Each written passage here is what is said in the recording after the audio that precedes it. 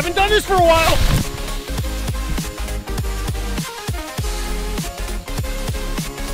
We're gonna do that in one take that's a one take. Welcome back everybody, my name is Andrew and this is Kite Army. So in the last few years we've seen the power of battery powered leaf blowers just go off the charts. Most of these battery powered leaf blowers have more power than their gas counterparts. I'm talking CFM and miles per hour. Now, I know there's some holdouts out there for the gas blowers, and there's good reason for that. So let's start by showing you exactly what that issue is. So I told you these battery powered leaf blowers struggle with one thing, and that one thing is runtime. So today for our test, I've got the brand new 2021 Ryobi 40 volt 730 CFM 190 mile per hour battery powered leaf blower. I've got the battery fully charged. Let's see what kind of runtime we get. Here we go.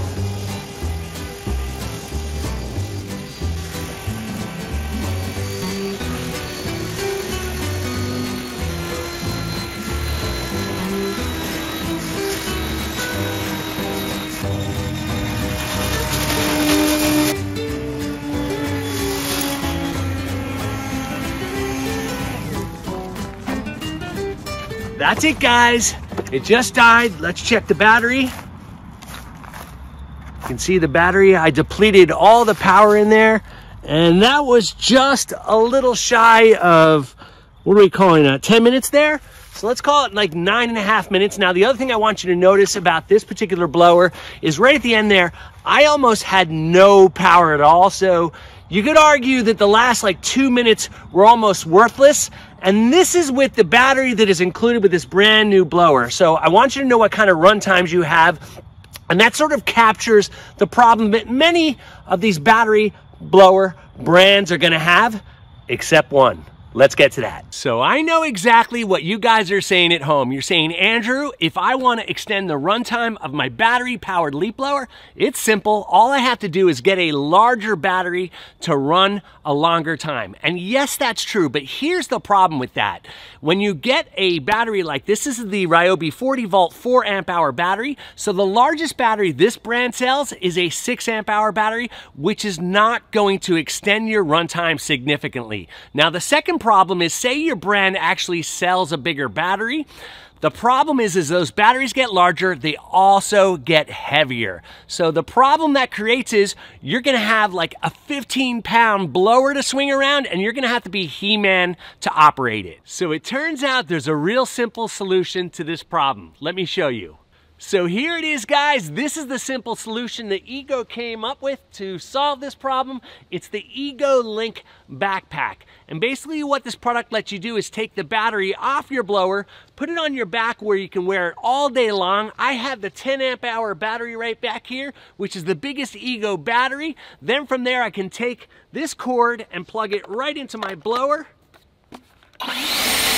And I'm going all day long. So to best demonstrate how handy the Ego Link backpack is, let me show you what the weight of the largest Ego battery, the Ego 56 volt 10 amp hour battery would be when connected to a blower. Now keep in mind, this is a massive Ego battery, but let's see how much weight it would be.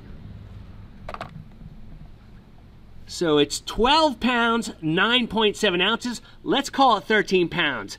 That would tire most people out. So obviously carrying this huge Ego battery on the blower is not practical for most. So here's the solution. It's the Ego Link. What you do is you put the battery right there. It sits on your back. And from there, you plug it right into the Ego blower. Now what's cool is this actually cuts the weight of the Ego blower in half. It's now six pounds. 3.2 ounces. So although our focus today is on the Ego blower, turns out the Ego Link is real convenient with all Ego handheld tools. What they do is they've made this adapter right here that looks exactly like an Ego battery and plugs in to any Ego handheld tool. Let me show you what it looks like on a hedger. Here's your hedger right here. Here's the battery. Plug it in, and just like a blower, you're good to go. So we know this Ego blower is an absolute beast in the power category, but today we're looking at improving runtime. We're gonna do that with the Ego Link backpack. We're gonna see how long we can run the 650 CFM, 180 mile per hour blower with a 10 amp hour battery on my back, and we're gonna run at the only speed I know, turbo. Here we go.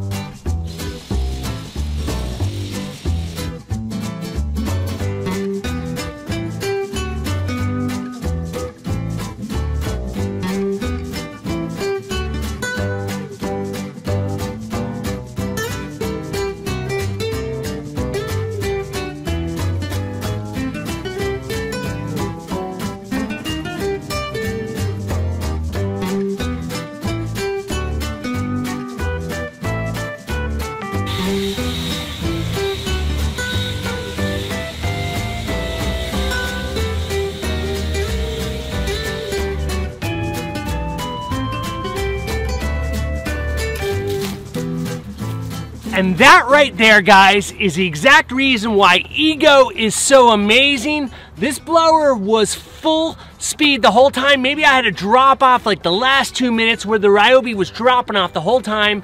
Let's see, I think we got, we got over 30 minutes of runtime. I'm gonna call it 31, 32 minutes. That is amazing. Check out the size of the pile. Actually, you know something? I'm gonna show you the size of the pile. Check this thing out.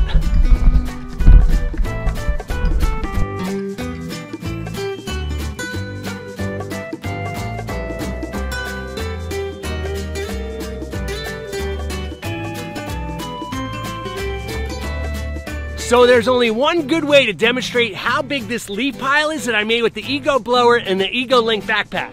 Here it is, ready? Haven't done this for a while.